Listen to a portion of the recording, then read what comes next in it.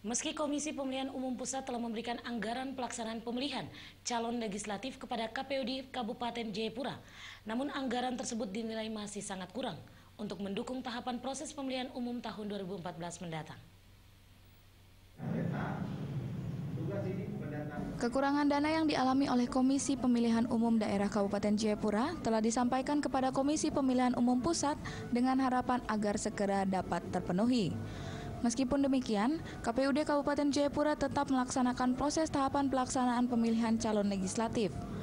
Ketua KPUD Isak Hikoyabi mengatakan, sejauh ini meski dengan keterbatasan dana, namun pelaksanaan setiap tahapan pemilu yang akan datang ini dapat diatasi secara baik sambil menunggu proses anggaran yang akan diberikan oleh KPU Pusat. NIPA memang sudah ada, tapi kan NIPA itu juga sementara lagi kita proses. Memang untuk kali ini kekurangan dari KPU pusat.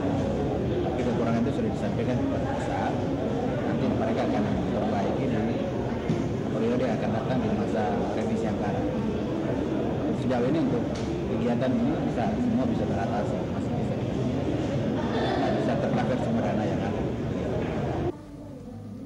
Demi kelancaran tahapan pelaksanaan pemilihan calon legislatif KPUD Kabupaten Jayapura tetap melaksanakan tahapan proses pemilu sesuai tahapan atau jadwal yang telah ditetapkan. Dari Kabupaten Jayapura, Daniel Ilwai Top TV melaporkan.